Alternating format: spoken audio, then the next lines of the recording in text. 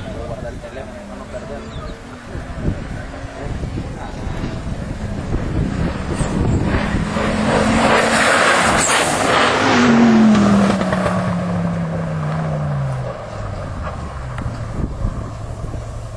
No le metí la pata.